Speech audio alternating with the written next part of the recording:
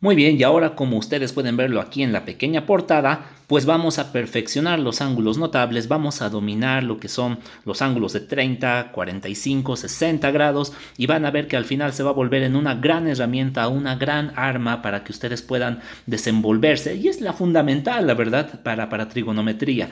No van a poder continuar en trigonometría si ustedes no se saben, no saben cómo manejar esos ángulos notables. Y pues vamos, vamos a hacer aquí unos cuantos ejercicios y vamos con el primero.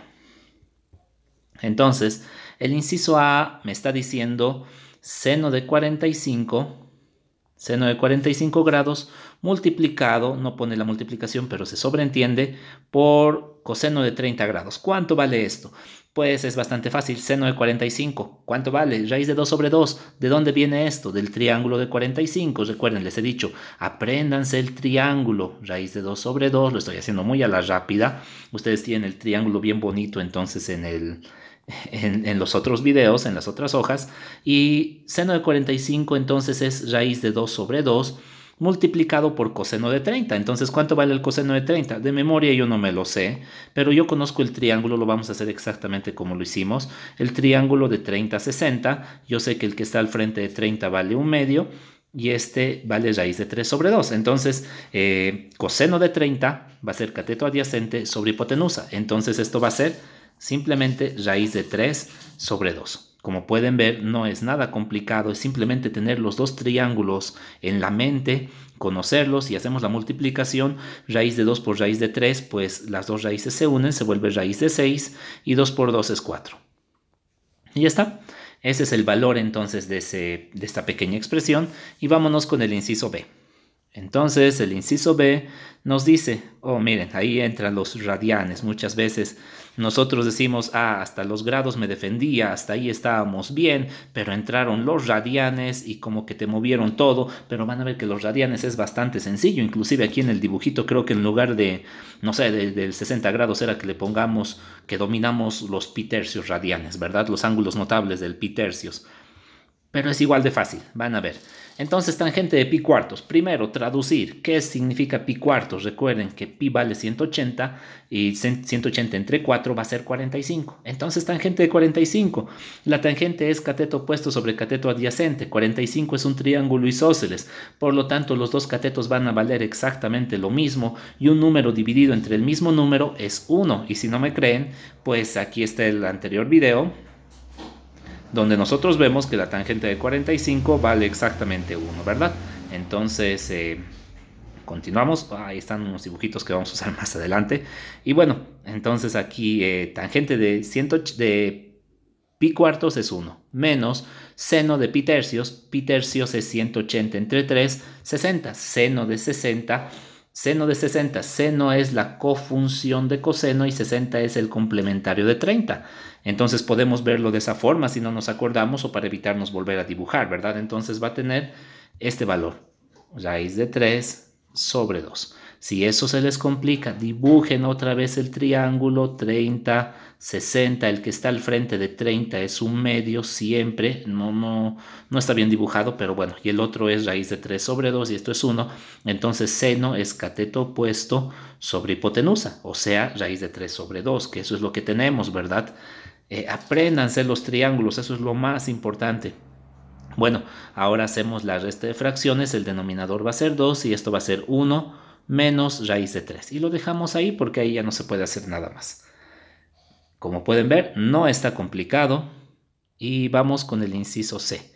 Entonces el inciso C me dice tangente cuadrado de pi sextos más seno cuadrado de pi cuartos. Bueno, pi sextos, 180 entre 6, 30. Tangente de 30, ¿cuánto vale tangente de 30?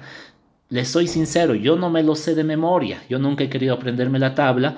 Tangente de 30 yo podría fijarme en, los, en las hojas de atrás, seguramente ustedes van a tener su, ya sus triángulos dibujados, pero si no, imagino que estoy empezando un examen, me han presentado esto, yo no tengo ni idea, no me acuerdo cuánto era, pero no hay que caer en pánico, simplemente dibujo mi triángulo de 30 a 60 el que está al frente de 30 es un medio. Yo siempre lo recuerdo de esa forma, entonces el otro es raíz de 3 sobre 2.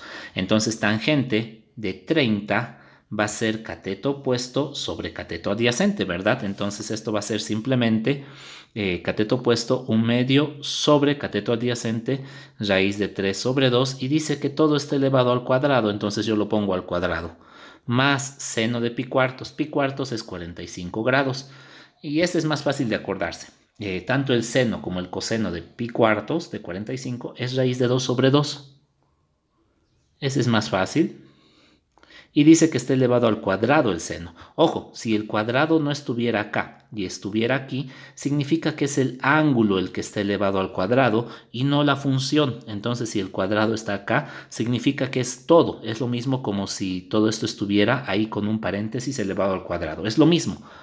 Pero generalmente se lo pone ahí el cuadrado. Bueno, entonces ahí vamos a borrar este paréntesis tan feo. Ahora sí está mejor. Eh, simplificamos, me va a quedar 1 sobre raíz de 3.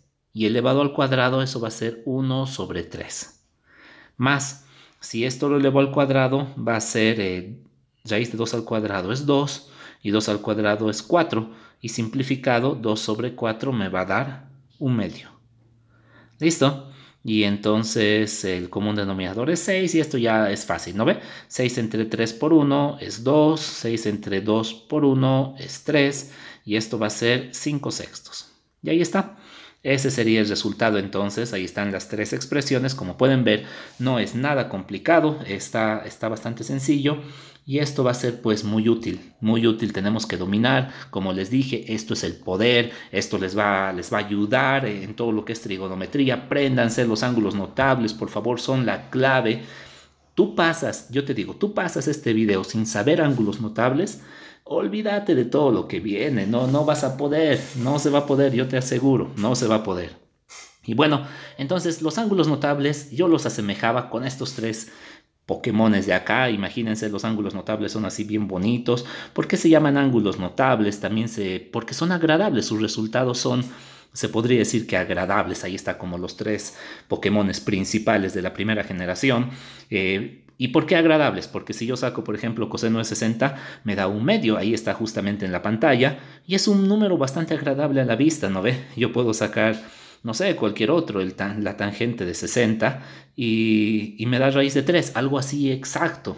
O sea, son, son números que, que se ven bien, así, bien, bien cute, bien, bien medio kawaii como estos bichitos de aquí. Y están los demás, Recuerden que hay muchos grados, en un círculo hay 360 grados, solo estamos manejando 3 de esos 360 de momento y los demás, pues los demás son así como este Jigglypuff bien, bien feo, hecho por algún niño que seguramente tiene alguna personalidad medio extraña. ¿Por qué?